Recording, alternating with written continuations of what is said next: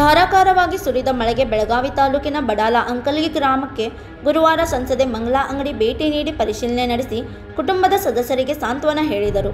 ಸಂಸದೆ ಮಂಗಲಾ ಅಂಗಡಿಯ ಮುಂದೆ ಅಳಲು ತೋಡಿಕೊಂಡು ಮೃತಪಟ್ಟ ಕುಟುಂಬಸ್ಥರ ಸಂಬಂಧಿಕರು ಧಾರಾಕಾರ ಮಳೆಯಿಂದ ಏಕಾಏಕಿ ಮನೆಯ ಗೋಡೆ ಕುಸಿದರಿಂದ ಸ್ಥಳದಲ್ಲೇ ಐವರು ಜನ ಮೃತಪಟ್ಟರು. ಸಾವು ಬದುಕಿನ ನಡುವೆ ಹೋರಾಟ ನಡೆಸಿದ್ದ ಇಬ್ಬರನ್ನು ಆಸ್ಪತ್ರೆಗೆ ದಾಖಲಿಸಿದರೂ ಬದುಕಲಿಲ್ಲ ಎಂದು ಅಳಲು ತೋಡಿಕೊಂಡರು.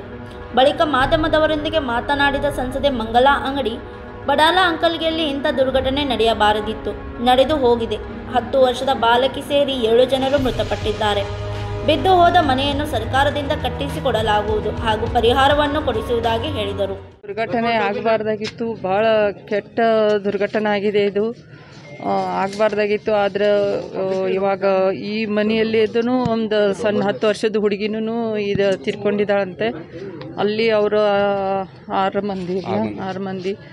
ಅದು ಈಗ ನಾವು ಗೌರ್ಮೆಂಟ್ದಿಂದ ಅವ್ರಿಗೆ ಮನಿನೂ ಹಾಕಿಸಿ ಸಿ ಎಮ್ಗೆ ಒತ್ತಾಯ ಮಾಡಿ ಮನಿನೂ ಹಾಕಿಸಿ ಕೊಡ್ತೇವೆ ನಮ್ಮದೇ ಬಿ ಜೆ ಪಿ ಗೌರ್ಮೆಂಟ್ ಇರೋದ್ರಿಂದ. ಮತ್ತು ಏನು ಪರಿಹಾರ? ಈಗಾಗಲೇ ಸಿ ಎಂ ಅವರು ಘೋಷಣೆ ಮಾಡಿದ್ದಾರೆ. ಐದು ಲಕ್ಷ ಅಂತ. ಪರಿಹಾರನೂ ಲಘು ಸಿಗುವಂಗೆ ಮಾಡ್ತೇವೆ.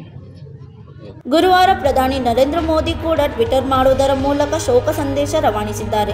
ಕುಟುಂಬಸ್ಥರಿಗೆ ಆತ್ಮಸ್ಥೈರ್ಯ ತುಂಬಿಸುವುದಲ್ಲದೆ ಸರ್ಕಾರದ ಎಲ್ಲ ರೀತಿಯ ನೆರವು ನೀಡುವುದಾಗಿ ಭರವಸೆ ನೀಡಿದ್ದಾರೆ. Vishwanath Desai Kannada news network Belagavi